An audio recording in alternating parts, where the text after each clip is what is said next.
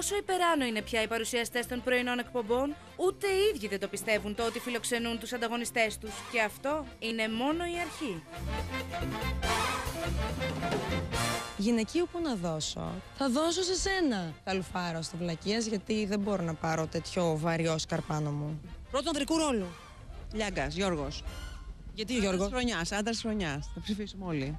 Γιατί; Γιατί είναι υποψήφιος. Γιατί το ψηφίσετε όμως; Θα το ψηφίσουμε, άντρας χρονιάς.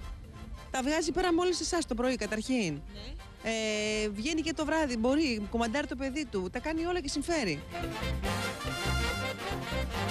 Έχουμε τον Δωρή Μαραντίνη που πρώτη φορά. Σου μίλησε και ο Μαραντίνης; Βεβαίως. Μπράβο. Μας συμπαθούν πολύ όλη η μπάντα. Ε, φαντάζομαι δεν μας βλέπουν όμως. Μας βλέπουν.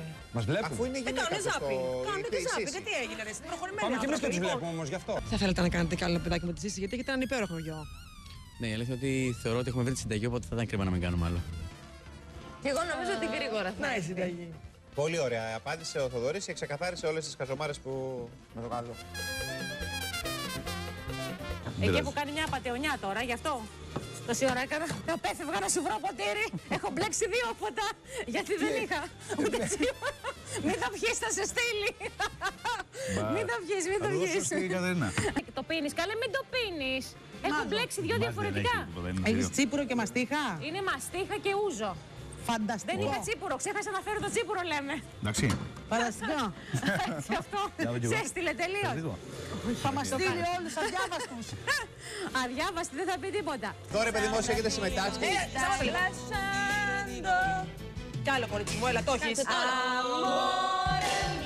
Θα σε δω το πλοίο. Δεν πειράζει. Δεν πειράζει, φίλε μου, θα μιλήσει συνέντευξη.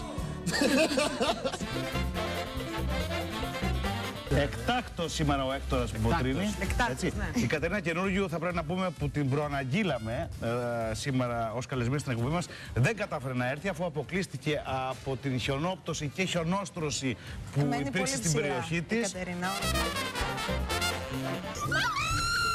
Μαμά, μαμά, έπιασα φίδι. Σταμάτα, Μόρι.